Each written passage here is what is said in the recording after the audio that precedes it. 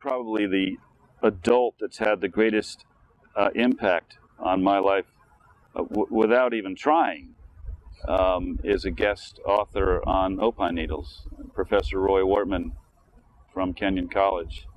Uh, he was um, my student advisor by happenstance. Uh, I remember freshman year, first day of school, I went to a history lecture, and uh, this uh, professor who was a Holocaust survivor um, gave a lecture uh, on uh, the epistemological revolution, and the first line out of his mouth was, uh, "Paradigms are conceptual boxes in which we fit facts."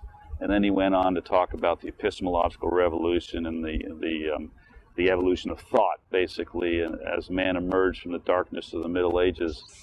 And, and I remember by the end of that, that seminar thinking, oh lordy, I don't belong in college. and I went and found Professor Wortman and said, where, what am I doing here?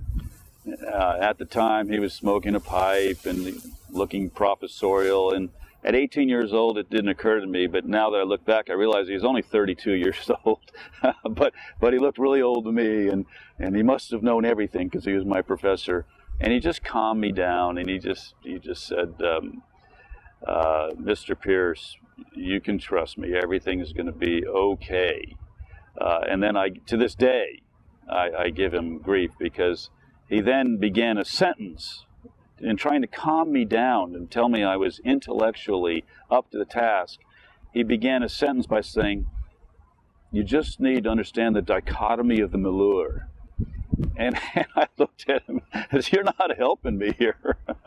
but but anyway, he laughed because he did it to me on purpose. Um, but uh, um, this is a gentleman uh, with whom I have been in contact since uh, 1974.